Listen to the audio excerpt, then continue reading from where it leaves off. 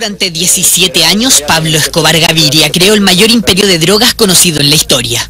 Su principal estrategia, miles de asesinos dispuestos a dar la vida por él. John Jairo Velázquez, alias Popeye, mano derecha y sicario personal del Caponarco, nos recibe en la peligrosa cárcel de alta seguridad de Colombia y cuenta detalles inéditos de la vida y muerte del patrón. Pablo Emilio Escobar Gaviria una mente criminal como ninguna, una inteligencia nata y utilizaba las cosas sencillas. ¿Por qué se da cuenta uno que tiene estómago para el crimen? Porque uno mata a una persona y se va para la casa normal, va y almuerza normal, duerme normal, normal.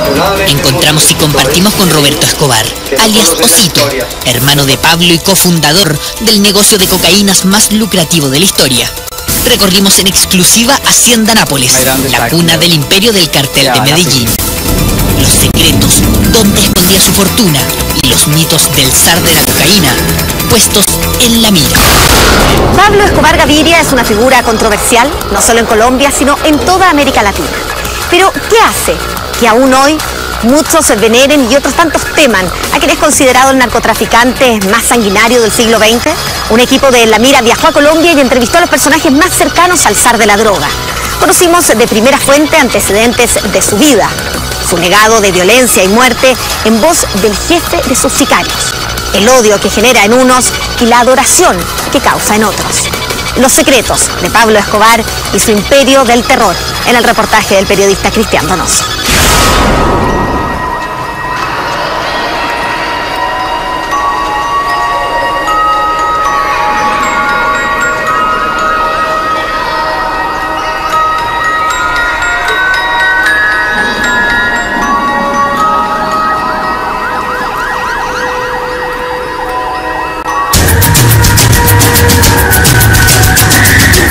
El 27 de noviembre de 1989, 110 personas mueren al explotar una bomba en el vuelo 203 del avión Avianca que despegaba de Bogotá.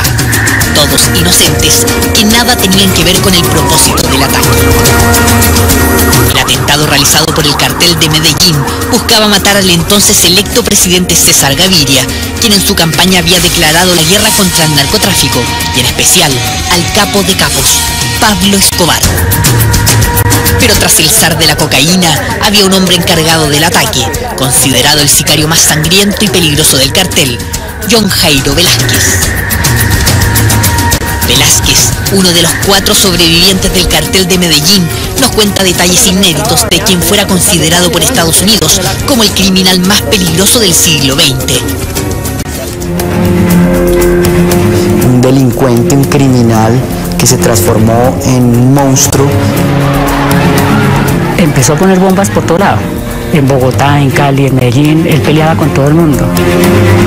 Realmente a los colombianos nos debe dar pena hablar de Pablo Escobar, como a los alemanes les debe dar pena y les da pena hablar de Hitler. Era una persona realmente inteligente, eh, sin embargo no supo utilizar esa inteligencia para el bien, sino para el mal. Colombia, tierra del café, esmeraldas y mujeres bellas. Con más de 47 millones de habitantes, es uno de los países más poblados de América del Sur. Se ubica en el sector norte de nuestro continente, iniciando el Mar Caribe y el cordón central americano. Con una sangrienta historia de luchas civiles, militares y guerrillas revolucionarias, hay un segmento del tiempo que su pueblo aún mira con dolor y sufrimiento. Una época de terror, de miedo, donde las instituciones eran incapaces de contener la oleada del narcotráfico en el país. A toda hora andaba con estrés, con el temor de, de las bombas. El daño que se le hizo a esas generaciones y que aún todavía las repercutimos fue muy grande. Muerto hace 20 años, la sola figura de Escobar mantiene un trauma imborrable. Siempre el gobierno, como todo, trata de tapar las cosas buenas que hizo él y siempre resalta las cosas malas. En el aspecto de la iluminación, obras que está entregando Servicio en Marcha y el señor Pablo Escobar Gaviria. Tuvo algunos actos generosos, ¿sí? Actos generosos. Bien, no, no hizo bien. Su imagen y dolores tan vivos. Por ello no resulta fácil grabar los hitos de su historia. Estaba, estuvieron guardados acá y lo tenían exhibido acá el Rolls Royce de Pablo Escobar. ¿Qué canal son ustedes? Perdón. ¿Qué no se le puede hacer toma al edificio? Ah, disculpe, que somos de Chile. Venimos de Chile, estamos haciendo un informe. La fiscalía. Militares y policías armados que no permiten grabaciones no fue una ni dos veces. En cada punto referente al capo narco nos fue impedido. Una reacción que se comprende. El cartel de Medellín, liderado por el patrón, partió la historia de Colombia y marcó para siempre a sus habitantes. Colombia es una antes y otra después de Pablo Escobar. Cambió la, la- la apariencia de la- del país afuera, antes era el país de café y las esmeraldas, se convirtió en el país de la cocaína. Me pareció una gran idea tatuar a Pablo Escobar. Eligió de otra forma el camino fácil para hacerse inmortal en esta sociedad colombiana. Qué obvio. Oscar Cantor tiene 31 años. Su nuevo tatuaje no es por capricho ni mero atrevimiento. Su infancia la pasó en medio de asesinatos y carros bombas. El nombre de Pablo Escobar lo marcó para siempre. La admiración no surge por, por las cosas malas que haya hecho o algo así, sino como un solo hombre capaz de cambiar tanto un país, porque lo cambió políticamente, económicamente, culturalmente.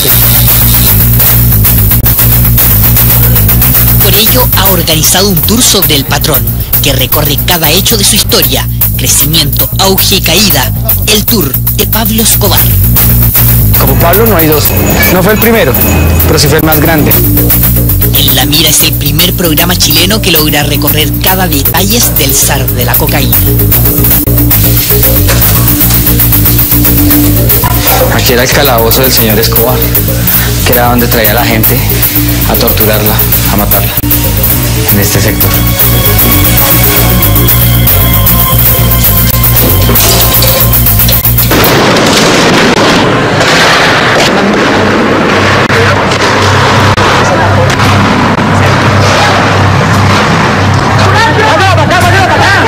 Ellos entraron con un carro tanque dándole bala al que apareciera.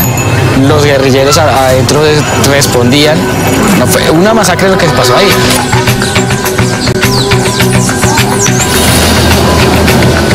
Pablo Escobar lo que no podía comprar lo mandaba a hacer. La bóveda donde Pablo Escobar guardaba todo su dinero.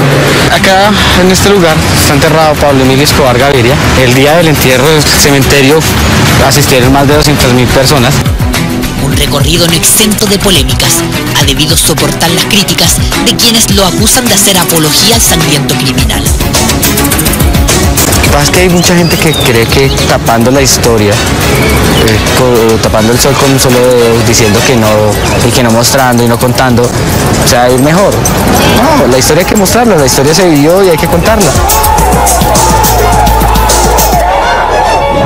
Y no se puede borrar porque Pablo Emilio Escobar Gaviria, el capo más grande del narcotráfico de la historia humana, padre del narcoterrorismo, sus acciones dejaron más de 10.000 muertos.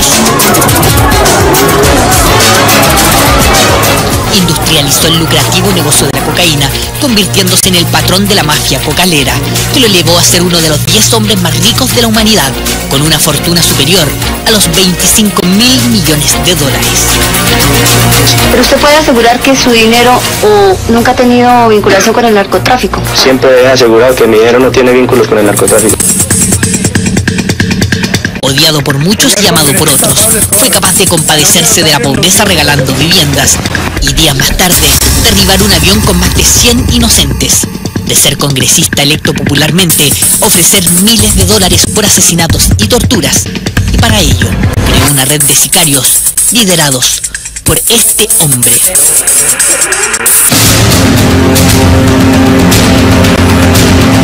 La cárcel de alta seguridad de Cómbita, la más importante de Colombia, queda a 200 kilómetros al norte de Bogotá. La seguridad es altísima, hasta el punto de llegar con fusiles mientras grabábamos el ingreso desde la autopista. Al interior, la revisión exagerada. No es para menos.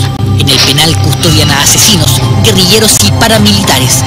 Pero el prisionero más reconocido y peligroso es quien nos recibe. John Jairo Velázquez Velázquez, alias Popeye, es el prisionero 007 y como el famoso agente, infundió temor y respeto a punta de fuego. Popeye fue el sicario personal y mano derecha de Pablo Escobar, a quien se les indica como uno de los autores materiales del atentado del vuelo 203 de Avianca, y recuentos informales lo asocian a más de 1.500 muertes. Amigo, encantado yo. Saluda al pueblo chileno yo. Consígame una novia yo. Ojalá sea bonito yo. ¿Te quieres? Claro, sí. Su mirada sigue fuerte y firme a pesar de 22 años tras los barrotes. Su lengua llena de historia junto al patrón, punzante y atrevida. Para mí Pablo Emilio Escobar Gaviria fue mi amigo. Primero fue mi patrón. Yo trabajé para él eh, obnubiladamente, cegado por la figura de él, porque era un buen hombre para mí. Pablo Emilio Escobar Gaviria era una mente criminal como ninguna, una inteligencia nata y utilizaba las cosas sencillas. Los otros capos se dedicaron a coleccionar reinas de belleza, diamantes, obras de arte, fincas con piscina y caballos de paso fino colombiano. Y Pablo Emilio Escobar Gaviria tenía una visión de bandido porque él se fijaba en Al Capone. Y, y él empezó a comprar armas y a coger sicarios de los barrios de Medellín, de las comunas, y a tenerlos al lado de él. Entonces, mientras los otros disfrutaban la vida, él se armaba. Nos pide que lo llamemos Popeye, apodo ganado cuando fue miembro de la Marina colombiana. Vive completamente aislado junto a otro preso de alta complejidad. Solo puede salir a un patio cerrado y blindado a los pies de su pequeña celda. Mira, este es mi mundo, vea. Aquí tengo un gran tesoro que es mi radio, vea. ¿Ahí escucha radio? Ahí escucho radio. Aquí tengo mi gran tesoro. Vaya, aquí me cuida Dios, Jesucristo, la Virgen, Espíritu Santo. Tengo un combo grande santo porque el problema mío es grande. Es pequeño el espacio, eso sí. No, ya sé, pues yo también soy berraco. Pero es suficiente. Es suficiente porque Colombia eh, hay mucho hacinamiento ahora y yo soy privilegiado porque tengo mi propio huequito. Y aquí soy feliz, aquí tengo mis libros, mis cosas. Mire, este libro lo escribí yo, aquí lo tengo. John Jairo Velázquez tiene 51 años, llegó con 23 al cartel de Medellín. Como soldado, Popeye, en pocos meses, ya era el más destacado del grupo de sicarios. ¿Por qué se da cuenta uno que tiene estómago para el crimen? Porque uno mata a una persona y se va para la casa normal, va y almuerza normal, duerme normal, normal. Yo conocí muchos asesinos en la mafia. Hay unos que cierran los ojos, le pegan 30 balazos eh, por aquí, por allá, en un pie, en una oreja y no pasa nada, ¿se me entiende? Cambia el asesino serio, dispara dos tiros a la cabeza, de aquí para arriba y listo. Y el asesino profesional trabaja con revólver porque el revólver nunca se traba. Cambia la pistola, se puede trabar y lo deja usted enredado en el problema. Y el asesino profesional se conoce ahí porque siempre trabaja la cabeza y porque mira lo que está haciendo, porque no tiene miedo. ¿Y usted era un asesino profesional? Yo era un asesino profesional, pues yo, esa era mi misión dentro del cartel de Medellín, porque yo no era narcotraficante. No, yo no le tenía miedo a eso, yo siempre andaba armado y donde dormía, dormía armado. Yo estaba en guerra. Popeye nos cuenta que la mayor virtud de Pablo Escobar era su cercanía. Todos sus asesinos lo idolatraban. Pablo Emilio Escobar Gaviria tenía una energía muy buena y nosotros los jóvenes de la época de esa generación crecimos oyendo por todas las esquinas Pablo Escobar, Pablo Escobar y lo queríamos conocer. Cuando ya uno lo conocía pensaba que iba a encontrar con un tipo como en las películas, que el gran mafioso no se puede ni saludar, no se puede ni mirar a los ojos, hay que estar a 10 pasos y lo primero cuando lo conocí fue un abrazo que me dio. Me dio la bienvenida y comimos un pedazo de pollo del, de, del plato de él. Era un hombre que usaba unos blue jeans Newman normalitos, una camisa normal y un relojito normal. De orito sí, pero normal, no era una cosa llena de diamantes ni de cosas. Se llegó a estimar que Pablo Escobar tuvo en Medellín cerca de 5.000 sicarios. Se preocupaba mucho por el bienestar de sus asesinos. No era que él, él, él, prefiriera, por ejemplo, un narcotraficante que coronara 200 o 300 toneladas de coca, no, primero sus asesinos, porque era su base, era su fortaleza. Según Popeye, una inteligente estrategia que lo diferenciaba de sus compañeros de negocio. Resulta que el arma más poderosa de Pablo Escobar Gaviria no eran las ametralladoras, sino la inteligencia. Pablo Escobar desde el año 1983 montó unos grupos de inteligencia muy fuertes en Bogotá, Medellín, Cali, las principales ciudades de Colombia. Entonces usted era jefe de la inteligencia de esa ciudad, usted tenía a su disposición una gran cantidad de dinero. Entonces usted infiltraba notificadores de la Corte Suprema, notificadores de los jueces, eh, periodistas, muchas cosas. Era una industria del crimen bien planificada por una mente criminal que era Pablo Emilio Escobar Gaviria. Nosotros no necesitamos llevar una pistola para Bogotá. Allá había una ametralladora, había dinamita, había de todo. Usted llegaba a Bogotá, se desplazaba, ya encontraba todo ejecutado y todo el mundo quedaba asustado. Una perfecta industria del sicariato, creado por el patrón que seguía al pie de la letra su máxima de vida, plata o plomo, desde ministros hasta obreros. Según los expedientes de la justicia colombiana, Popeye a Punta de Fuego mató a más de 250 personas, instaló 200 bombas, secuestró a Andrés Pastrana, quien posteriormente fue presidente, también a Francisco Santos, quien fuera vicepresidente. Pues nosotros no éramos psicópatas que llegábamos y en la casa con fotos, así una cosa bien terrorífica, íbamos haciendo, no, nada de eso. Eh, de mi propia mano, por el proceso y todo, yo calculo que unas 250 personas. ¿250 personas? Sí. ¿Y usted tiene remordimiento respecto a eso? Y mire, vea, yo lo hacía a nivel profesional. Yo trabajaba para un hombre que nosotros estamos, nosotros le metimos un tinte político a nuestra lucha, que era la no extradición de colombianos hacia los Estados Unidos de Norteamérica. Durante los últimos ocho años, Popeye ha colaborado con la justicia para aclarar los casos de asesinatos y genocidios. Muchos políticos han caído presos por sus dichos. Asegura, los dineros del patrón estaban en todos lados. El dinero llegaba por toneladas. Yo estuve en Miami donde llegué a ver caletas con 20, 30 millones de dólares. En Medellín usted encontraba caletas con 50, 60, 70 millones de dólares. Él llegaba y se iba para Río de Janeiro, para un festival de Río de Janeiro, echaba 2 millones de dólares en efectivo y venía sin un peso, sin un dólar. Él llegaba, por ejemplo, a Miami y gastaba dinero a manos llenas, 8 o 10 limusinas, helicópteros, todo. Ya él después, cuando ya empezó la guerra, ya no necesitaba eso porque ya había disfrutado la vida. Pero había narcomilitares, narcopolíticos, narcoperiodistas, narcojueces. Es decir, eh, los narcóticos y los enormes fondos influyeron en forma transversal. Incluso asegura que existieron presidentes y ministros de otros países involucrados en el negocio, entre ellos Fidel y Raúl Castro, a quienes indica como socios del cartel de Medellín. Raúl Castro para la época era el comandante del ejército cubano y él recibía en las pistas del ejército cubano los aviones que venían de México, porque tenían que, no podían ser con banderas de, Colombia. Sí hubo ciertos envíos de Colombia, pero como yo estaba en Cayo Hueso no supe esos envíos.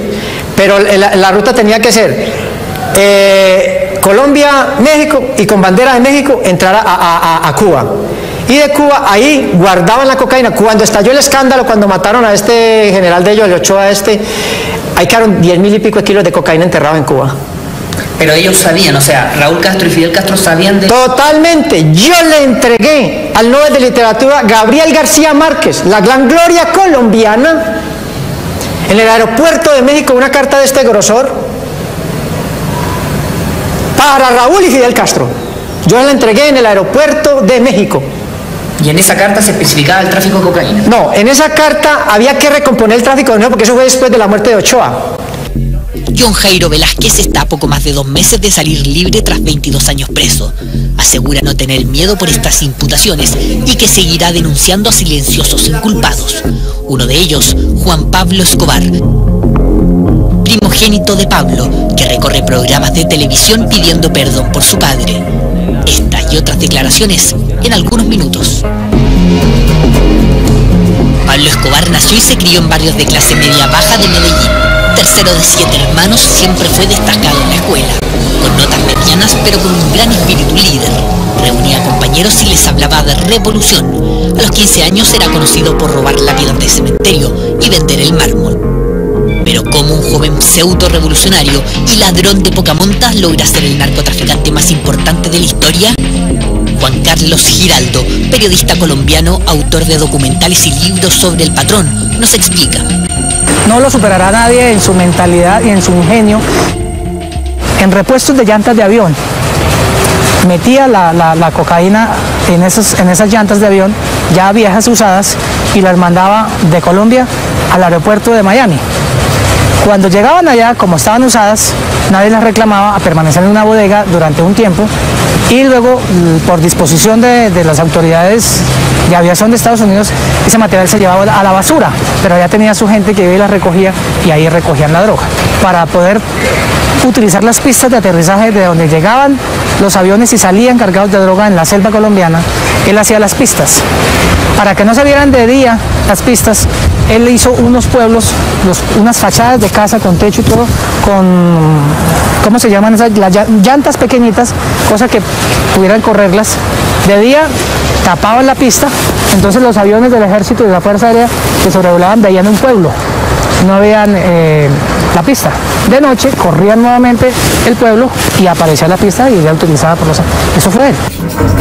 Sistemas e inteligencia que le rindieron frutos en pocos meses. En 1978, con solo dos años de narcotráfico, Pablo Escobar era multimillonario. Cuando Pablo Emilio Escobar Gaviria empezó a traficar drogas, un kilo de cocaína en los Estados Unidos valía 50 mil dólares. Y 50 mil dólares de esa época es mucha plata hoy en día, es muy diferente a 50 mil dólares de hoy. Pablo Escobar fue el primer narcotraficante que pasó de utilizar avionetas o aviones medianamente pequeños a pasar a, utilizar jets. Él pasó a utilizar jets de turbina, 727. En un solo viaje alcanzaba a sacar 10 toneladas en un jet. En un solo día llegó a sacar 10 aviones con 10 toneladas.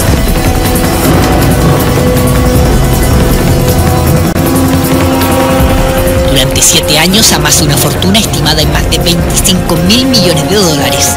Su inteligencia lo llevó a ocultar el dinero en novedosos escondites llamados caletas, la última de ellas encontradas en la casa donde murió el patrón. Para la época fue un elemento bastante novedoso donde Pablo Escobar Gaviria guardaba sus documentos confidenciales, ¿sí? Él la mandó a fabricar, él la tenía en su despacho privado cuando, digamos, tenía armas, documentos confidenciales que involucraban a personas dentro de la, la, organización estatal, que de pronto en algún momento él con su dinero o los obligaba, pues aquí guardaba sus documentos y nunca la dejaba tocar por nadie. Esta caleta siempre permaneció bajo su cuidado y su custodia. Con su riqueza ayuda a los más pobres, construye viviendas y cientos de canchas de fútbol. Se gana el respeto de los barrios marginales que el año 1982 lo eligen como representante del Congreso. Pero su dinero genera sospechas. En 1984, Guillermo Cano, director del diario El Espectador, publica un artículo donde muestra su pasado criminal de los años 70. El ministro de Justicia, Rodrigo Lara Bonilla, comienza a investigar pide la destitución. Se trata de una escalada del narcotráfico que hoy busca la salida de un ministro del gabinete. Políticos ven con malos ojos que un millonario sin educación les quite protagonismo. Buscan detenerlo para extraditarlo a Estados Unidos como narcotraficante. Quiero informar a la opinión pública que el señor ministro de Justicia tiene un plazo de 24 horas para que presente las pruebas concretas de la sindicación que me hizo en el día de ayer en la Cámara de Representantes. En 1984 es destituido y Pablo Escobar comienza a amenazar a todos quienes osaban nombrar. Si ustedes no llegan a ir, le mato a su mamá, a su papá, a su abuela. Y su abuela ya está muerta, la, la desentierro y se la vuelvo a matar. Así que ustedes toman esa decisión. Espero en 45 minutos la respuesta. Muchísimas gracias. Les habla Pablo Emilio Escobar Gaviria. El 30 de abril del 84, el ministro de Justicia Lara Bonilla es emboscado por sicarios en moto, muere acribillado. El 17 de diciembre del 86, el periodista Guillermo Cano sigue sus pasos. Jueces, policías y más periodistas terminan asesinados. Nosotros no teníamos entrenamiento militar, sino malicia indígena, nosotros íbamos como unos paticos detrás de Pablo Escobar. El cartel de Medellín era un grupo de ovejas dirigidas por un león que era Pablo Escobar. Pablo Escobar nos infligía valor a nosotros. Para fines de los años 80, la guerra entre el Estado y el cartel de Medellín se erguía como una de las más sangrientas del mundo. Pablo Escobar había hecho amistades con paramilitares y guerrilleros que lo protegían, incluso financiando sangrientas operaciones. Y Pablo Escobar, el trato que tenía con el M-19 era que él les dio 2 millones de dólares y armas para, para que hicieran la, la toma. El trato era que ellos se tomaban esto y lo primero que tenían que hacer era eh, quemar los expedientes de los extraditables. La toma del Palacio de Justicia duró más de 27 horas. Hubo 350 rehenes y 99 muertos, 11 de ellos jueces de la Suprema Corte colombiana. Otras 10 personas nunca fueron encontradas.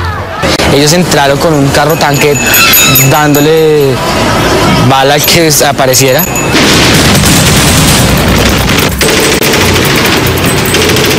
Los guerrilleros adentro respondían. No fue una masacre lo que se pasó ahí. Durante años las autoridades colombianas negaron la participación de Pablo Escobar en esta sangrienta operación. Popeye, testigo de las reuniones previas, ratifica la intervención del patrón. Yo estuve ahí. Se le entregaron dos millones de dólares a un miembro de, de importante, Iván Marino Espina, que él muere antes de la toma, pero la plata se la entregaron. Armas se recogieron en Medellín. Era tan grande la fortuna del capo y sus ansias de triunfo que comienza a ofrecer hasta 10 mil dólares por policías muertos. Reparte armas de grueso calibre a sus sicarios. Más de 600 uniformados son asesinados en plena calle. Pablo Emilio Escobar Gaviria, que para esa época, los 80, él ya contaba con un arsenal, ¿sí? que ni siquiera eh, al interior de la institución todavía se conocía.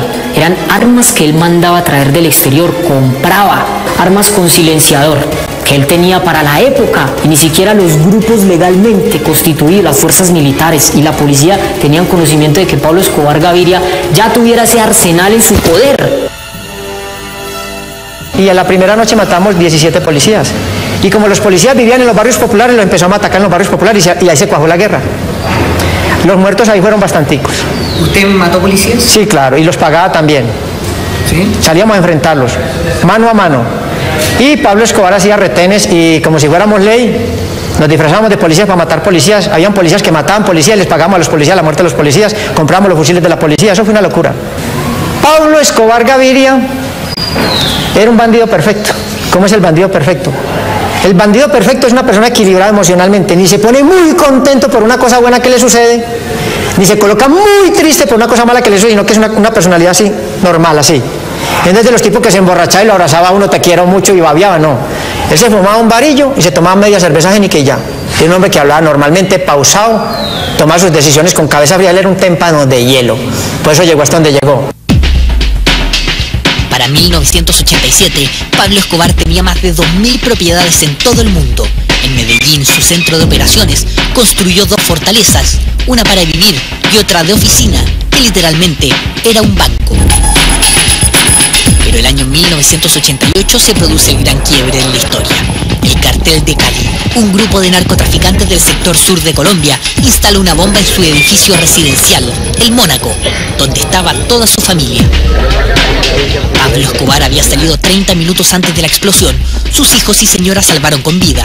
No así tres de sus guardaespaldas y sirvientes. Con la llegada de la policía y la prensa, se percataron del increíble lujo de la propiedad. Más de 50 automóviles de colección y obras de arte originales de Rodin, Botero, Picasso, incluso Dalí, que duplicaban el valor de la propiedad. 25 años más tarde ingresamos al edificio Mónaco, destruido y deshabitado. Aún así se puede observar la majestuosidad de la construcción y los detalles que hacían de Pablo Escobar, el sanguinario capo de la cocaína. Pablo Escobar vivía acá con sus hijos y su esposa en el sexto y séptimo piso. El resto de pisos era para los empleados, las señoras de la cocina, los señores de mantenimiento, los escoltas. Y ahorita van a ver cómo eran los apartamentos de los empleados. Este era uno de los baños de los empleados, un jacuzzi Este era baño del empleado. de los empleados, imagínate. Este era el baño de los empleados, todo en mármol. Estos son huecos que dejó el ejército buscando caletas, buscando, rompieron los, los techos para buscar si, si habían acá más caletas. Aquí era el calabozo del señor Escobar, que era donde traía a la gente a torturarla, a matarla, en este sector. Este era el ascensor que subía a, a los apartamentos. Y Pablo entonces venía acá, torturaba, mataba a la gente y después subía al apartamento a jugar con sus hijos. El resto del vecindario era así. ¿Sí ves? Son casas de un piso, son casas grandes con unos jardines, pero eran así. Y Pablo en la mitad de todas las casas grandes era edificio de siete pisos. Todo el edificio conduce a un séptimo piso en penthouse, la pieza principal del patrón, más de 240 metros cuadrados de habitación y su propia bóveda. Y acá en este espacio era la cama. La cama de Pablo Escobar estaba acá. Tengo la cama ya, yo pongo mi plata a la cabeza. Esta es la, la bóveda de Pablo Escobar. Una bóveda que tiene más de 3 metros de altura, tiene más o menos eh, 20 metros cuadrados. La puerta de acero.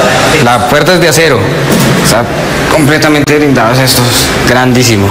Algún día esto estuvo lleno de dinero, todo, todo, hasta el techo, de eh, dólares, pesos, lingotes de oro. Esta era la, la, la, la caja menor de Pablo Escobar. El atentado a su residencia y familia no lo perdonó y comenzó la peor etapa de su reinado, el inicio del narcoterrorismo. Popeye relata que el sistema de carros bombas Escobar lo importa desde España con socios de la ETA. de la ETA y nos enseña a nosotros a armar los carros bomba control remoto. Eso primero en Colombia usted veía que colocaban bomba muy poquito, pero era con, con pólvora negra esa que hacen los voladores y grapas retorcidas para crear la metralla. Pero cuando eso explota en Colombia, aquí tuvieron que traer expertos estadounidenses para decirles, llegó el terrorismo a Colombia. Estamos observando en este momento el sitio donde quedó ubicado el bus que fue utilizado para el atentado. Ahí ven ustedes el bus al fondo. El país quedó en shock. Uno no sabía, a veces, digamos, sin ser tan extremista, pero uno sabía que salía a la calle y en cualquier momento, en cualquier lugar podía pasar algo y uno podía estar ahí. Más de 250 bombas explotan en las principales ciudades de Colombia. Y empezaron allá a escorbar en un rincón, entonces yo le mandé el plano de la cámara y estaba el tipo, co- cogió algo y lo levantó y era, la, era una cabeza, era la cabeza del... Donde estaba el carro bomba, ahí quedó. Yo me acuerdo que el periodista dijo, uy, hijo puta, es la cabeza, es una cabeza. Las escenas yo creo que no, yo se las puedo decir, la televisión las puede mostrar, pero la vivencia es una cosa que, que es espantosa, o sea, el olor de la sangre, el olor de la pólvora, la dinamita, es, es, es- no, no, no, no, no podríamos reflejarlo en las imágenes, no, no alcanza a ser reflejado en las imágenes. La guerra continúa por dos años. En 1991 Pablo Escobar se entrega a la justicia colombiana tras lograr cambiar la constitución e impedir la extradición. Durante nueve meses vive en la cárcel La Catedral, construida con su propia fortuna. Al momento de su traslado, los radios del helicóptero captan nuevas amenazas de Pablo. Todo lo que ustedes sufrieron y lo que mi familia también ha sufrido, pues va a repercutir en la paz de este país, que es muy importante. Nueve meses dura Pablo Escobar y sus secuaces en la catedral. El 21 de julio del 92 se escapa caminando tras haber matado, desmembrado y quemado a dos de sus socios del cartel al interior de la prisión. A cada gendarme le habría pagado miles de dólares. Nuevamente con la llegada de la prensa, se destapa el lujo con el que vivía el patrón en la supuesta cárcel estatal. Restaurante con chef extranjeros, áreas de juego, oficinas para continuar el negocio, piezas de lujo y la celda 001, una majestuosa habitación para el jefe, incluso con escondites. La catedral era una cosa de locos. Eso era una empresa criminal. En la cárcel de la catedral empezamos a reconstruir la estructura del narcotráfico. Se empezó a manejar la guerra contra el cartel de Cali. Y allí seguimos en la guerra contra el cartel de Cali. ¿Era un hotel cinco estrellas? Un hotel seis estrellas. Allí subían las señoritas, había orgías, teníamos chimeneas en las celdas, había discoteca pequeña, pues no una discoteca con luces como las de Miami, pero sí eran chéveres para ser una cárcel. Había visitas todo el día. La búsqueda de Escobar se desata con más de 5.000 hombres. Todos sus enemigos se unen. La policía, militares, la CIA, la DEA, paramilitares, guerrilleros y el cartel de Cali forman el bloque de búsqueda. Por Colombia, denuncia a los narcotraficantes. Se buscan Pablo Escobar Gaviria y Gonzalo Rodríguez Gacha. En medio de la guerra, Roberto Escobar, alias Osito, hermano y socio del capo, es detenido. Estando en la cárcel recibe una carta bomba que explota en sus manos. Producto de la bomba, queda prácticamente sin audición, la pérdida de un ojo y con la visión del 10% en el otro. Veinte años más tarde de aquel atentado, logramos ubicarlo y compartir unos momentos. Insólitamente, usufructúa de la imagen de su hermano. Eso en algunos minutos. Luego, las duras acusaciones de Popeye al hijo de Pablo Escobar. El señor Marroquín era un asesino. Desde los 12 años participaba en torturas con nosotros porque el patrón lo estaba entrenando para que fuera un bandido. Yo estoy en contra de todas esas organizaciones que atenten contra la seguridad y la paz de la nación, ya sean ellas de izquierda o de derecha. Pablo Escobar dejó su huella en el mundo como el mayor narcotraficante de la historia, con una estructura de sicarios compleja que hasta el día de hoy complican a Colombia. Además creó y articuló las mejores rutas de contrabando utilizadas hasta la actualidad. Permeó con corrupción todas las instituciones públicas y dirigió una guerra con miles de muertos que hasta la fecha no se pueden determinar.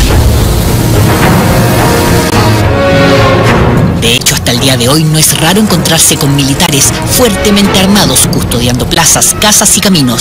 Es parte del día a día. Aún así se ganó el respeto de miles, quizás millones de colombianos. Algunos, a pesar de los hechos y las pruebas, lo siguen venerando.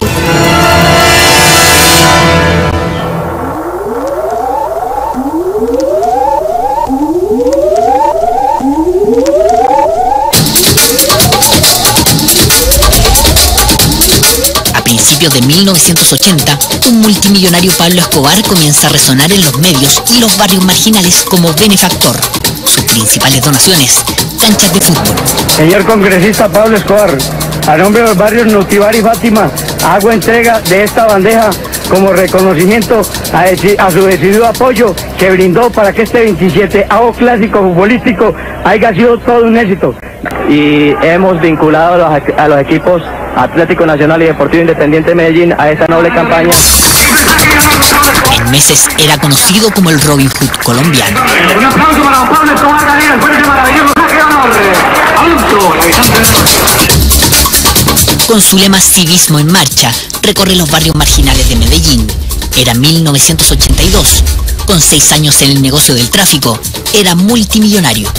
Bueno, nuestro movimiento, la ideología principal de nuestro movimiento es civismo, nacionalismo, programas sociales, ecológicos y deportivos. ¿Usted se cree el Robin Hood antioqueño? De ninguna manera, pero de todas maneras es un calificativo que resulta bastante interesante porque quienes conocen la historia de Robin Hood saben perfectamente que luchó y que salió en la defensa de las clases populares. Es en ese mismo año que realiza una de las obras sociales más recordadas. En 1982, Pablo Escobar corona su autodenominado movimiento social Civismo en Marcha, con la construcción de más de 400 viviendas para personas de escasos recursos. Hasta el día de hoy, este barrio lleva orgullosamente su nombre.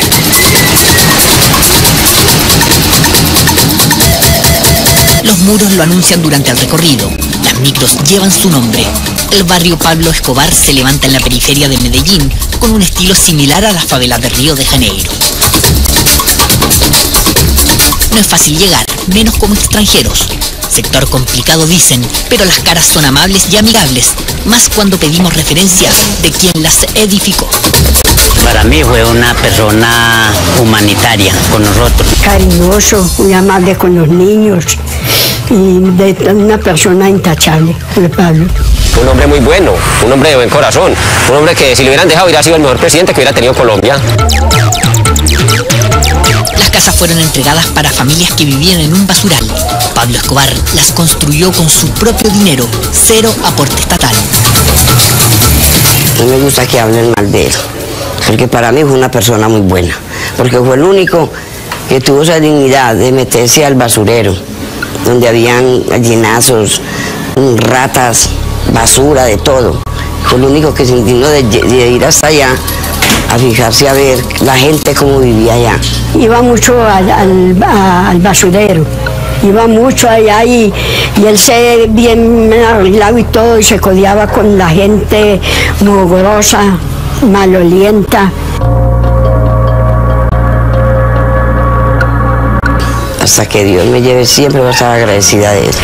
Yo aquí yo voy para 30 años aquí en esta casita y eternamente agradecido por Pablo Escobar. No solamente yo. Pregúntelo aquí cualesquiera de las personas que vinimos de abajo, por ejemplo la señora y la señora acá, que vinieron de abajo de- de- del bosque. Si por eso tenemos casita, si no tuviéramos nada. 30 años han pasado desde la entrega de estas casas, 20 de la muerte de su benefactor, pero ni el tiempo ni la política han logrado borrar el nombre y rostro de Pablo Escobar. Ese letrero lo colocamos hace poco en contra de un alcalde que hubo en Medellín, Alonso Solar Jaramillo, que decía que ese, nombre había que cambiarlo. Y nosotros dimos que por el contrario, las cosas hay que marcarlas con su nombre. Entonces lo marcamos con el nombre del barrio Pablo Escobar. Y no solo está el muro en su recuerdo, estampitas y fotos con rostros del patrón cubren paredes de estos vecinos. Una admiración que podría resultar irracional, pero para estos pobladores, Pablo Escobar fue su única salvación. Era un tipo muy elegante, un parecido muy bonito. Jamás. No, que nunca nos nada a cambio. Fuera yo un embustero, tendría que hubiera pedido algo gratis. Acá habían antes muchas más placas de agradecimiento a Pablo, entonces, pero a gente que no le convenía, porque estaba su nombre ahí, las mandaron quitar. Un lugar que cada 2 de diciembre, día de la muerte de Pablo Escobar, se repleta de flores y llantos. Mucha tristeza, mucha lágrima, mucho, mejor dicho. Como que se nos hubiera muerto la mamá, porque era un papá para nosotros. Un recuerdo y veneración que estos pobladores aseguran pregonarán a extranjeros, vecinos y familia. La devoción por su benefactor la mantendrán por siempre. Lo vamos a no lo defendemos toda la vida y seguimos defendiéndolo y esperamos que algún empresario se digne a regalarnos algún día una escultura de Pablo Escobar para ponerla en el barrio, para que el mundo sepa que Pablo Escobar existió y que sigue existiendo en el barrio.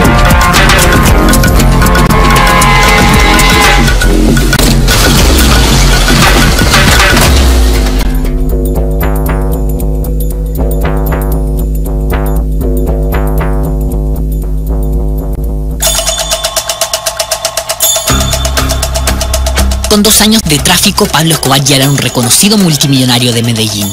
Toneladas de drogas se despachaban diariamente desde la selva hacia Estados Unidos, donde el kilo de cocaína se vendía a 50 mil dólares. En 1978 decide capitalizar su éxito económico y criminal comprando 3.000 hectáreas de terreno. Funda la Hacienda Nápoles, en una posición estratégica entre Bogotá y Medellín, rodeado de espesa selva. En 1978, Escobar y Gaviria compran una extensa finca en la región del Magdalena Medio colombiano, la Hacienda Nápoles, orgullo y símbolo de su éxito. Amante de los animales, Pablo Escobar construye su propio zoológico con más de 300 especies exóticas, todas al aire libre. Él, para satisfacer a su ego y a su familia, decidió que todos aquellos animales exóticos que no habían en Colombia, él los pudo traer de África. Construye hoteles de lujo para sus invitados, seis piscinas, 18 lagos artificiales, una pista de aterrizaje donde incluso podía maniobrar un avión Hércules, helipuertos, hangares, una plaza de toros, un bar-restaurante y caballerizas de paso fino. Si usted va a la Hacienda Nápoles, lo que encuentra ahí es un museito chimbo. Primero es una cosa esplendorosa en Latinoamérica. Animales en su hábitat natural. Era una locura los animales que hay, porque era más costoso el sostenimiento de los animales que traer los animales. Y unos lagos muy bonitos. Pues la casa en esa época, para esa época era muy bonita la casa principal, muchos árboles. En diciembre de 1978 inaugura su pequeño reino, invita a toda la familia y contrata un canal de televisión para realizar un documental. Los helicópteros también empiezan a llegar, trayendo consigo a más visitantes.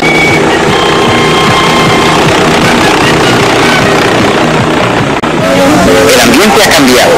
El sonido de la música, las risas, la conversación el chapuceo en la piscina dan el ambiente de recreo y descanso.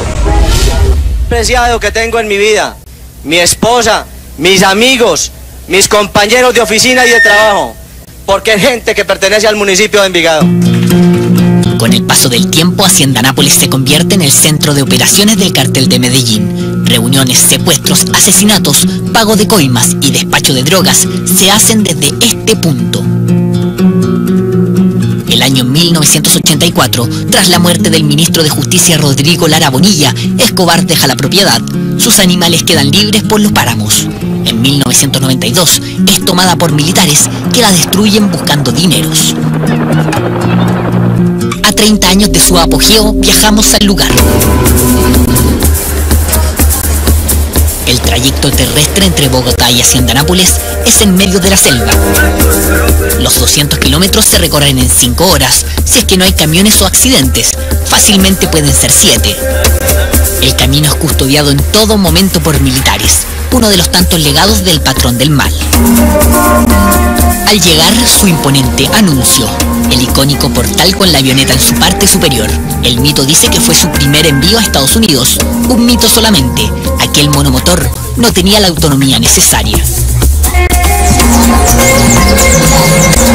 Al interior la magnitud sorprende. Se ha convertido en un parque de atracciones. Con algunos pequeños cambios, uno logra apreciar la envergadura del imperio Escobar.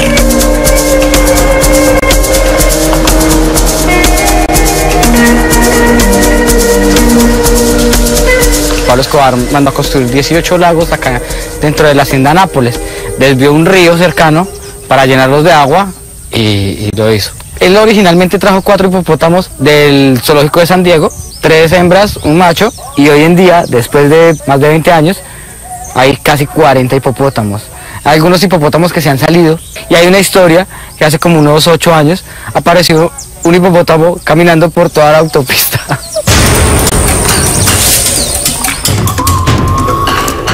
Bueno, Pablo acá tenía canguros, tenía elefantes, jirafas, rinocerontes, avestruces. En el lago hay un, animal muy representativo del, del río Amazonas, que es el delfín rosado, que tenía un delfín rosado acá.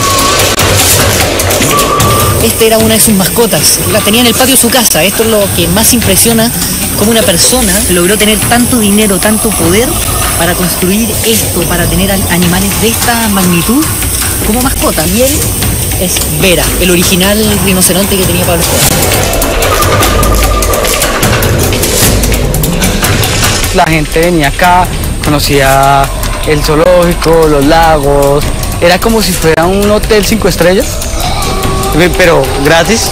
Y aquí pasaron políticos. Políticos, deportistas, modelos, las mujeres más hermosas del mundo pasaron por acá. La gente más importante del mundo pasó por acá. Aquí pasó gente como Noriega, como Vladimiro Montesinos. ¿Mm? Hasta incluso hay el mito de que, de que, que estuvo, estuvo acá los Rolling Stones. Estas cebras que vemos acá son hijas de las originales que trajo Pablo Escobar. En los 80 cuando Pablo Escobar las trajo, llegó a Linderena a decirle a Pablo, bueno, estos animales qué, nos los vamos a llevar. Él estaba en Medellín, vino rápidamente en el helicóptero, le dijo al- al funcionario que no se las llevara, que le daba dinero y todo eso, el funcionario no quiso aceptar. Y mientras que él hablaba con él, porque Pablo era una persona muy dada a hablar y entonces todo esto, los empleados trajeron pintura, cogieron unos burros, los pintaron y el, y el Inderena lo que se llevó fueron cinco burros y llegaron acá las originales.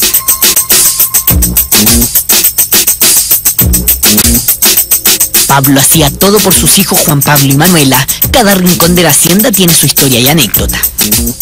Pablo Escobar lo que no podía comprar lo mandaba a hacer. A Juan Pablo Escobar le gustaban mucho los dinosaurios y, Pablo no hizo lo que podría hacer un padre normal, que era regalarle un juguete, un dinosaurio, un tiranosaurio rex o algo así. Le mandó a hacer seis réplicas eh, a este tamaño. Manuela le dijo a Pablo que quería un unicornio.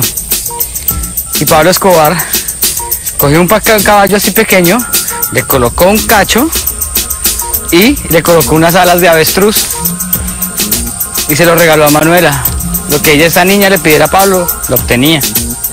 Le dio eso en una Navidad y obviamente el caballo no duró más de dos o tres días vivo y se murió de la, de la infección. No es que le pegara, sino que le hizo una operación. Le hizo una operación, se lo cosieron, un cacho y las alas se las cosieron. Gonzalo Rodríguez Gacha era la persona que tenía los laboratorios, ¿sí? Era la persona que hacía la cocaína. Se la vendía a Pablo y a los Ochoa. Pero como tal, Pablo Escobar lo que hacía era distribuir. Él acá en, en la hacienda Nápoles y en Río Negro y en Medellín tenía aviones, avionetas, jumbos, sí, aviones súper grandes, para distribuir.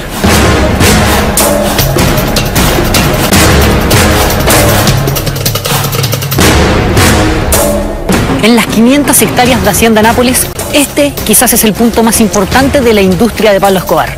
La pista de aterrizajes, donde se distribuía la droga a todo Centroamérica, incluso a Estados Unidos. Pero también donde comenzaba la fiesta, donde las personalidades políticas de la farándula, del espectáculo mundial, llegaban para pasarlo bien, para tener un rato agradable y también disfrutar de la tremenda casa que ahora iremos a conocer.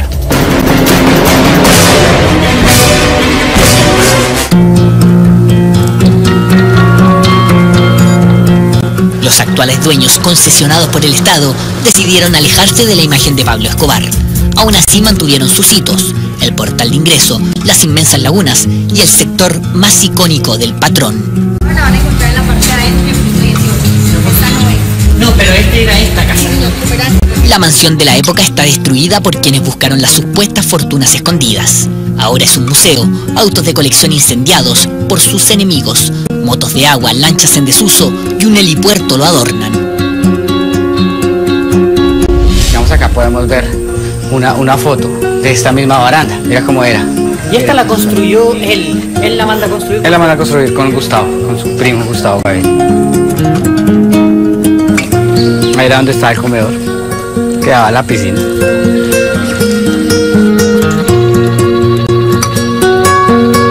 Ese sería como el similar, la, tierra de- del nunca jamás que creó Michael Jackson. Es el similar en Colombia, la que creó Pablo Escobar, la hacienda de Nápoles. Una exhibición que contempla no solo la muestra del poder económico del clan Escobar. Durante el recorrido se presencia su cara más brutal, asesinatos, torturas y secuestros. Esas dos dualidades que tenía Pablo, le dolería que un pájaro se muriera acá en la hacienda Nápoles, pero podía poner una, una bomba.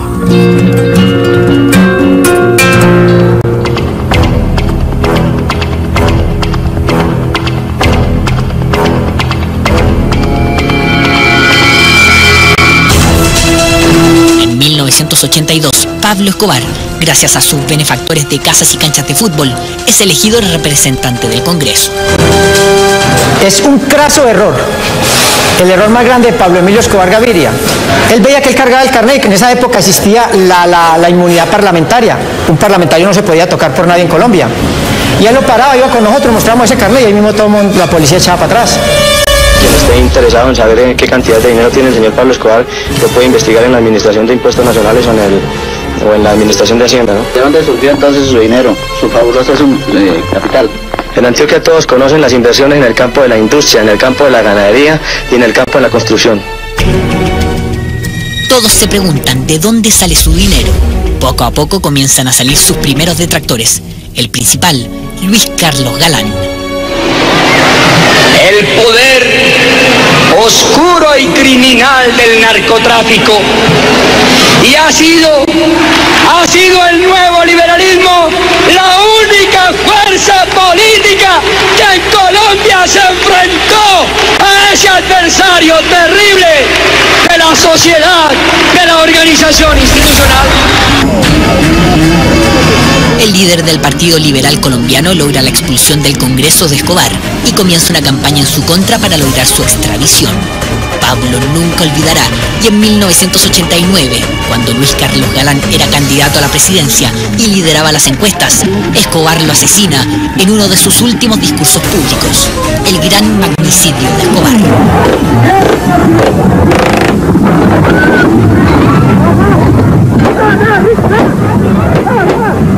Se infiltra la, la seguridad del, candidato Luis Carlos Galán, que eran los del DAS, y se ejecuta en Soacha.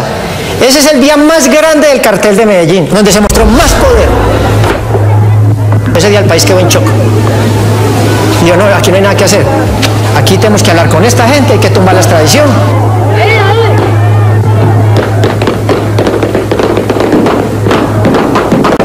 Juan Manuel, su hijo, actual senador de Colombia, asegura nunca haber tenido más temor que aquella noche. En esos días eh, fue muy duro y muy difícil porque Pablo Escobar dijo que iba a ir por las familias de sus enemigos, no solamente por sus enemigos. Entonces, pues fueron momentos en que mm, mis hermanos y yo no pudimos volver al colegio después del asesinato de mi papá en agosto. Según su hijo, todos estaban conscientes que Pablo Escobar atentaría con su vida. El poder del patrón era tan grande que había penetrado todos los estamentos para matarlo. Bueno, no fue solamente Pablo Escobar el que asesinó a mi papá, realmente a mi papá lo asesinaron, eh, digamos, una coalición de intereses criminales y mafiosos, Dentro de los cuales hay políticos. dentro de los cuales hay, en primer lugar, el narcotráfico, donde está el cartel de Medellín y el cartel de Cali también. También los grupos paramilitares y políticos también, especialmente del Partido Liberal, el mismo partido en el cual mi papá militaba, que veían en Galán una amenaza para sus intereses. Eh, prácticamente no quedó ningún sector de la sociedad colombiana que no hubiera estado penetrado de alguna manera por el narcotráfico. Incluso una vez muerto, Escobar dinamitó dos veces el monumento en su nombre, como repetía sus sicarios, los mataba en vida y los remataba en muerte. Un delincuente, un criminal que se transformó en un monstruo que eh, puso de rodillas al Estado colombiano eh, a través de la corrupción y a través de la intimidación, que no tenía ningún problema en asesinar y eliminar a cualquiera que se atravesara en su camino, en sus intereses, en su proyecto criminal, fuera quien fuera, viniera de donde viniera, no tenía ningún problema en asesinarlo, en eliminarlo a él, a sus familias, a su descendencia, a lo que, lo que fuera con tal de lograr su objetivo.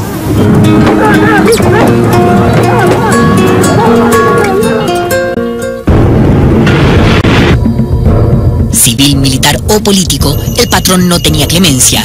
Guillermo Cano, director del diario El Espectador, que denunció sus andanzas criminales, es acribillado saliendo del diario. Nosotros creemos que hay gente que debe, debe presentar sus puntos de vista, porque hay lectores que les interesa esos puntos de vista. Don Guillermo Cano era un hombre ácido, con su máquina de escribir, un periodista correcto. Nadie podía decir de que a él la, la mafia le pagaba para que atacara, no era un periodista correcto, porque las cosas hay que decirlas como son. Sabíamos que era peligroso, yo creo que el primero en saberlo era él, pero nunca había habido algo similar en nuestro país de que se atacara a alguien eh, por, por, pues, por hacerse la voluntad de una persona. Él nos disparaba a nosotros con una máquina de escribir, nosotros teníamos ametralladora MP5 9 milímetros. Popeye cuenta que el asesinato se fragua en medio de una fiesta orgía del cartel de Medellín, cuando Guillermo Cano publica en su diario que el gobierno decide implantar la extradición por oficio. Nos llega el periódico El Espectador y donde dice, se le aguó la fiesta a los mafiosos. Es como si don Guillermo Cano hubiera estado sentado ahí. La señorita se coloca en el brasier, se acaba la orgía, el trago, los mariachis apagan la música. Entonces Pablo Escobar, Gonzalo Rodríguez Gacha y Jorge Ochoa toman la decisión de matar a don Guillermo Cano. El aparato de inteligencia militar montado por Escobar permitió idear el plan. Cuando llegaron los sicarios a Bogotá, todo estaba resuelto. Ya la inteligencia de don Guillermo Cano sabían que salía en un subarito, que salía a tal hora, que entraba a tal hora, que él manejaba.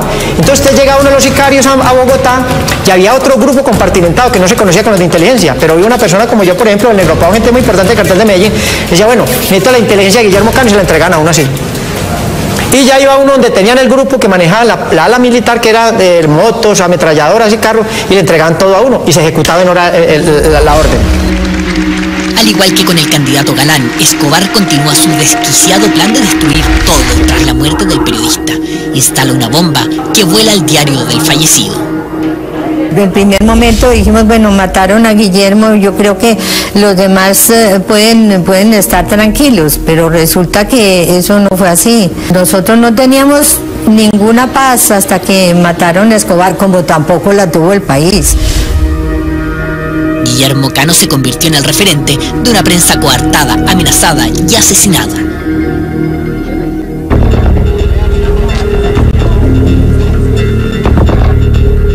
La, época era muy difícil porque tenías que informar casi que con la pistola aquí, ¿no? Contra ningún miembro del cartel de Medellín había orden de captura. ¿Por qué? Porque si un juez, en esa época no existía la fiscalía, si un juez le abría un caso a un miembro del cartel de Medellín, el juez se moría inmediatamente. Una ley del terror que pocos sobrevivieron para contar. Uno de ellos, Francisco Díaz. Eh, a mí, por ejemplo, me llegó un, un, un- policía y me dijo, mire, yo soy experto en antiexplosivos. Me contrataron para matarlo, para ponerle una bomba a usted. Y aquí está la bomba. Me la puso en las manos. Pero, pero no, ahora la fresco que no tiene explosivos. Eso, eso le corre a uno la sangre por el cuerpo, es muy duro. es- las amenazas, eh, cuando a uno lo amenazan es, yo creo que la parte psicológica, la presión psicológica es lo más fuerte de una amenaza. Así de brutal, las muertes y amenazas eran diarias, Pablo Escobar no perdonaba. Azucena Liébano, conocido rostro de televisión colombiano, fue víctima del patrón. El 30 de agosto del 90, es secuestrada junto a su equipo. Veníamos de una etapa en que era eh, el narcoterrorismo con bombas en Medellín, en Bogotá, el avión de Avianca. Veníamos de una época muy, muy difícil, digamos que ya era el terror completo. Y eh, caemos en manos de Pablo Escobar, por supuesto que uno como ser humano siente temor y terror frente a lo que estaba viviendo. La inteligencia de Escobar nuevamente fue visible. Se hizo pasar por guerrillero y aceptó una entrevista. Al llegar, se percataron que era una farsa del patrón. Azucena viajaba con un importante personaje.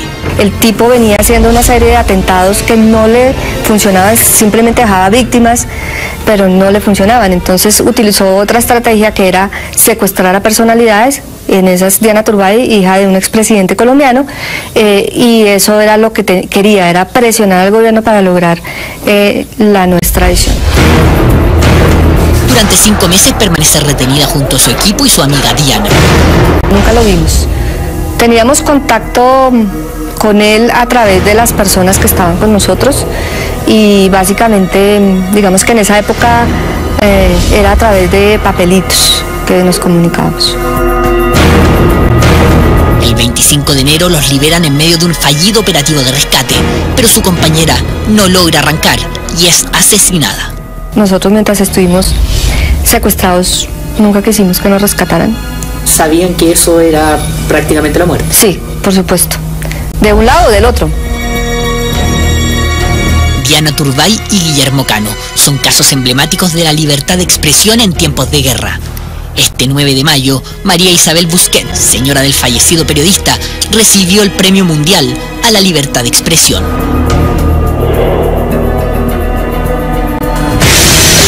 Tras 22 años preso, Popeye saldrá en libertad los primeros días de agosto. A pesar de sus miles de asesinatos, su cooperación con la justicia decreció la pena. Yo tengo amigos. Yo soy una persona que siembro. Eh, yo no tengo miedo. O sí hay cierto temor, porque es que el miedo es el que lo mantiene vivo a uno. Y a mí me gusta el miedo, y me gusta saborearlo. Y hay una cosa de lo que yo no le tengo miedo es a la muerte, porque aquí vemos dos muertos hablando. Temor justificado, sus enemigos han aumentado tras cooperar con la justicia e inculpar a políticos, militares y civiles. Yo tengo una filosofía, muchos dicen que es barata, también muy linda, es filosofía que yo he aprendido en la lucha de la vida. Yo tengo 51 años de edad, de experiencia tengo 1500. Si ustedes vienen con armas, ¿responderá con fuego? Totalmente porque yo no soy bobo. Y yo soy rápido y soy avispado. Y soy muy previsible, pendiente de todo. Yo soy como un piloto de helicóptero que va piloteando y va mirando dónde va a aterrizar en caso de una emergencia. Yo voy caminando y veo dónde va a salir un arma. Lo que sí no vuelvo a hacer es recibir un contrato para asesinar a una persona, eso no lo vuelvo a hacer. Pero si a mí me vienen a matar, yo no soy bobo, yo me defiendo. Asegura que uno de sus principales enemigos actuales es Sebastián Marroquín, el hijo primogénito de Pablo Escobar, Juan Pablo, que cambió su nombre tras la muerte del padre. El señor Marroquín, a quien yo ayudé cuando murió Pablo Escobar, porque yo estaba preso en la casa del modelo, y con un poderoso narcotraficante, Iván Ordinola Grajales, logro que él vaya a Cali a arreglar con Rodrigo Orejuela, que eran mis enemigos, pero Iván era mi amigo. Yo le salvé la vida al miserable del Marroquín, a la señora madre y a la niña. Y por ellos eh, quedaron en un acuerdo, porque cuando matan al patrón, Marroquín le su bocota y dice que va a matar a los que mataron al patrón. Dice no creer la actitud pacifista mostrada en los últimos años de Escobar Jr., donde incluso grabó un documental pidiendo perdón a los hijos de Galán y Lara Bonilla, además de recorrer programas de televisión disculpándose. ¿Por qué te nació ir a pedirle perdón a los hijos de él en circunstancias de que tú eras muy chico cuando eso ocurrió y seguramente no tuviste ninguna responsabilidad? Sin duda que no tuve ninguna responsabilidad, pero sí he sentido la responsabilidad moral eh, como familia y como familiar directo de mi padre de acercarme a sus víctimas. Y debo decir que esto no solamente ha ocurrido en el contexto del documental, a partir de allí se generaron encuentros que lamentablemente no están documentados. John Jairo Velázquez, mano derecha y sicario personal de Pablo Escobar, tiene una visión muy diferente del hijo. El señor Marroquín era un asesino. De los, de los 12 años participaba en torturas con nosotros, porque el patrón lo estaba entrenando para que fuera un bandido. Él estuvo en la muerte del capitán Posada de la Policía Nacional, donde le colocaron una bomba en la puerta. Él estuvo en eso.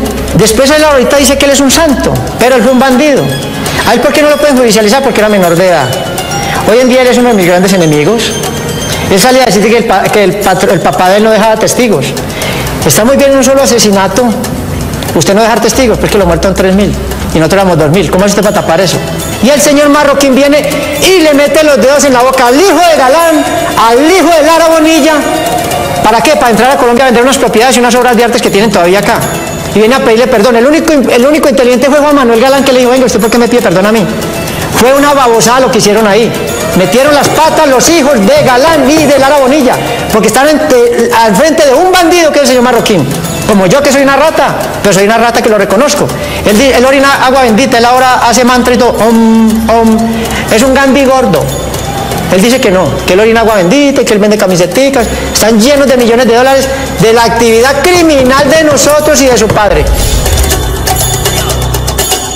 Millones de dólares que asegura aún están disponibles ilegalmente por la familia ante la impericia de la justicia. El patrón edificó la mayoría de los lotes en Medellín. Tenía edificios por todas partes, tenía moteles y en Miami tenía como 400 apartamentos y, casas de, recreo. Ellos tienen una plata muy grande en Suiza. Esas platas están escondidas allá. La fortuna de Pablo Escobar está en obras de arte, diamantes y oro. Las obras de arte las tiene Doña Tata en Argentina. Y muchas obras de arte de esas son de personas que nosotros secuestramos y matamos y pagaron con esas obras de arte. Las tiene su hijo Juan Pablo en Argentina. Todo ese dinero está allá. Cuando haya que res- resarcir el daño de las víctimas del cartel de Medellín, hay que ir por esas obras de arte que las tiene Juan Pablo en Argentina. Opinión similar tiene Francisco Díaz, periodista de la época. Aquí se ha comentado de Juan Pablo, es que de todas maneras Juan Pablo estuvo mucho al lado de su papá cuando se cometieron muchos de los crímenes que cometió el cartel de Medellín. Y lo que sí se le puede contar a la comunidad y que Juan Pablo se lo debe contar al mundo y explicar por qué lo hizo y en los términos que lo hizo cuando muere, el día que matan a Pablo Escobar lo llama una periodista, él contesta al teléfono, supongo también era el calor, de lo- dijo yo voy a poner bombas por todo lado, voy a matar policías, voy a matar al que sea, voy a vengar la sangre de mi padre. Nosotros no queremos hablar en este momento. Todos dicen que nos mató, yo puedo matar a todos y yo soy el más mal país. Fue un niño y un joven que, que tuvo todo lo que quiso, todo lo que quiso, pero además que creció, tuvo su infancia y su, su, juventud, fue con sicarios. No creo que, que tuviera cosas o historias muy, muy buenas para contar. Realmente la historia que queda de él en Colombia es una historia negra y es una historia de muerte también. Durante semanas intentamos conversar con Juan Pablo. Exigía pago de varios miles de dólares para hablar. Un negocio redondo si se piensan que en menos de un mes visitó tres programas solo en Chile. Pero no es el único que vive usufructuando de la imagen de su padre.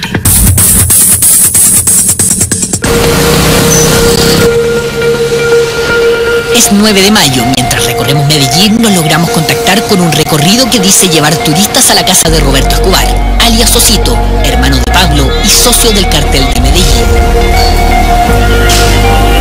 Debemos cambiar de vehículo y esperar en un paradero. Nos recoge una van llena de turistas. Todos ven un DVD pirata.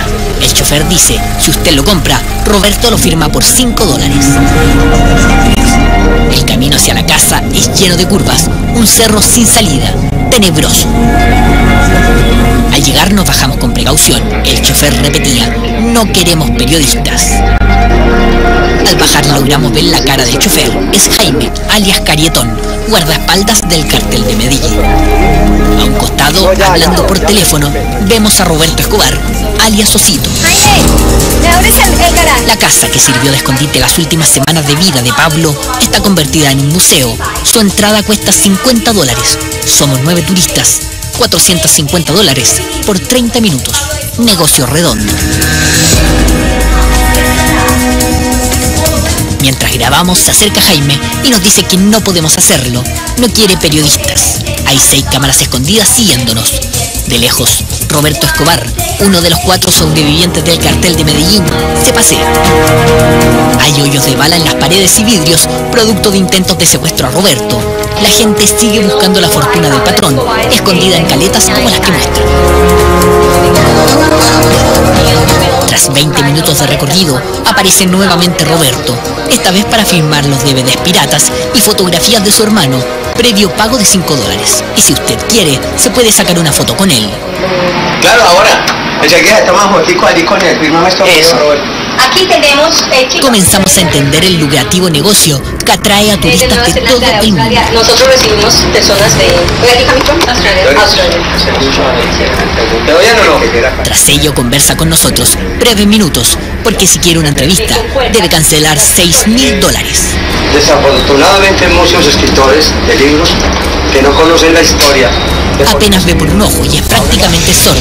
Tras un atentado con una carta bomba cuando era narcotraficante, le deben traducir todo. que usted está parado después del atentado con la catagomba y todo eso, y que se ve bien, a pesar de todo. Muchas gracias que... Roberto asegura tener una patente de la OMS para realizar estudios en pacientes con cáncer y sida. Afirma tener la cura. Jaime, el guardaespaldas, se percata de nuestras grabaciones y se lleva a Roberto. Conocieron a Roberto en persona. Privilegio. Tras 30 minutos en la casa museo debemos irnos. El show terminó y Osito va a descansar. 450 dólares y otros tantos más en su billetera, porque todos se llevan su foto firmada.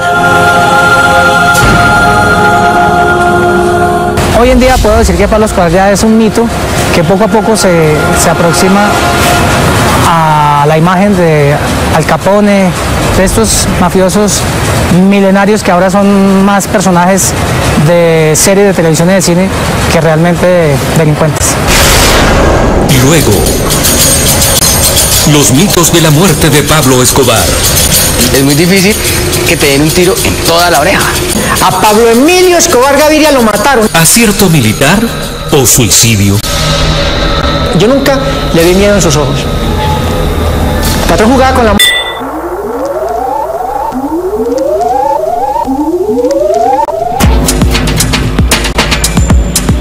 de la cárcel el 92 y con la guerra desatada, paramilitares y narcos de Cali se unen y forman un grupo de sicarios llamados Los Pepes, que buscan eliminar a Escobar y todo lo relacionado con él. La familia Escobar intenta arrancar de Colombia, pero ningún país los acepta, ni siquiera con las maletas llenas de dinero.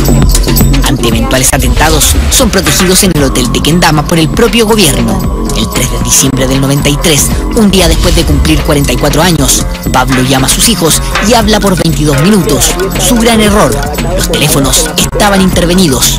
Al patrón solo le quedaba un guardaespaldas. Cuando pasaron por acá buscándolo, se dieron cuenta que por esa ventana Escobar estaba hablando por teléfono.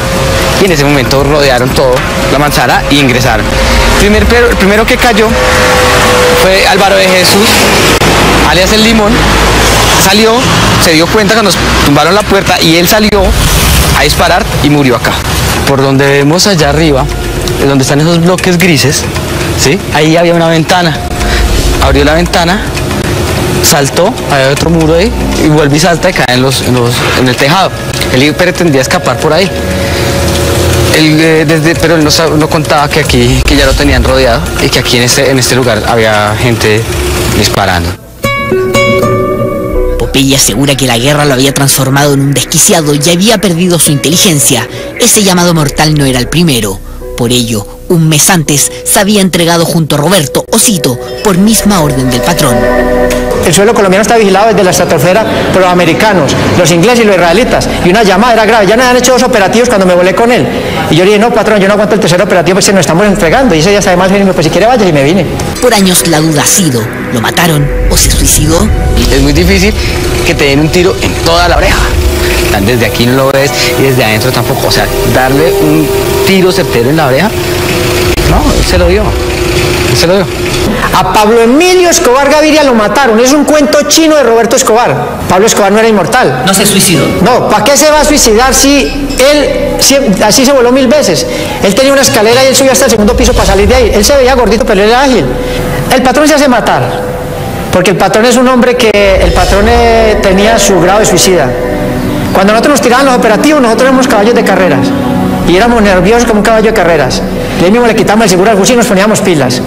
Y el patrón, tranquilo. Nos decían, tranquilo muchachos, calma, calma, dejemos los que entren, porque si ellos vienen entrando y nosotros vamos saliendo a la carrera, nos lo encontramos los que entren para, que se ubiquen. Cuando ellos ya se ubiquen, vemos por dónde salimos. Y cuando él ya veía la colista, ahora sí salgamos y salía tranquilo. El patrón era un hombre que yo nunca le vi miedo en sus ojos. El patrón jugaba con la muerte. Para sorpresa de las autoridades, su funeral fue multitudinario. Veinte años más tarde, su tumba sigue siendo lugar de procesión por curiosos turistas y propios colombianos. Esta es la- una de las tumbas más visitadas del mundo, junto a la de Elvis Presley y Jim Morrison. Hay gente que viene y le reza, que le cumple milagros, cosas. Como también ha habido los casos que se han parado acá a pisotear la tumba y a decirle así te queríamos ver, desgraciado. Pues yo vivo en el extranjero y no que quería venir a, a ver dónde que todo el mundo habla de él. Entonces, mirar a ver cómo es la tumba, si es diferente a la de los demás. Pero ahí vemos que todo es igual. Para mí no es importante, simplemente marcó la historia de una forma negativa. Por curi- curiosidad simplemente. Paradójicamente, a 20 años de la muerte del patrón, el cartel de Medellín sigue reunido. A metros de Pablo está enterrado Gustavo, su primo y socio, y Griselda Blanco, la reina de la coca, también socia del cartel. Ningún narcotraficante muere de viejo. Ningún narcotraficante se pensiona. Sí, todo se paga de una u otra manera. Pablo Escobar dejó una estela de sangre y temor, cambió la historia de Colombia y el mundo. A dos décadas de su muerte, militares dominan las calles y los motociclistas deben tener patente en los cascos por miedo a sicarios. Sus mitos crecen, más que un criminal, Pablo Emilio Escobar Gaviria se recuerda como una leyenda. Pero a 20 años de la muerte del patrón, en todo Colombia, aún resuenan las palabras de su hermana. No crean en ningún momento que porque Pablo Escobar fue asesinado vilmente se va a acabar la violencia en Colombia. No sean ilusos. El tráfico de drogas se acaba, el narcoterrorismo se ¿Usted cree que el tráfico de drogas se acabe y que el narcoterrorismo se acabe con la muerte de Pablo Escobar? Sea honesta, contéstelo usted. En el año 93, cuando muere Pablo Escobar en Colombia, no había sembrado de mata de coca, sino que se traía la pasta de coca del Perú, de Bolivia, del Ecuador. Cuando muere Pablo Escobar, entra la gran confederación del paramilitarismo fundada por los hermanos Castaño Gil. Y Colombia lo siembran de mata de coca. Esto es como el cáncer, eso es un virus que no, no, va, no va a pasar y no va a parar. Pienso que fue infructuosa esa lucha. Sacaron las bombas y se acabó muchas cosas, pero la corrupción tristemente en nuestro país todavía sigue. La corrupción en Colombia está desbordada, a todo nivel, desde arriba hasta abajo. Hay un, dicho acá en Colombia que dicen que los, los políticos colombianos son tan corruptos que corrompieron a Pablo Escobar. La violenta muerte de Pablo Escobar no significó el fin del narcotráfico ni de la violencia en Colombia. Surgieron nuevos carteles que ocuparon el lugar que él dejó. Pero afortunadamente ninguno de estos ha igualado la crueldad ni ha logrado la relevancia que tuvo el zar de la cocaína. Y es que, independiente del juicio que se haga de su figura, es indesmentible que Escobar ya pasó a la historia del mundo como el criminal más poderoso, influyente y sanguinario de los últimos tiempos. Por eso hoy estuvo en la mira. Hasta la próxima semana.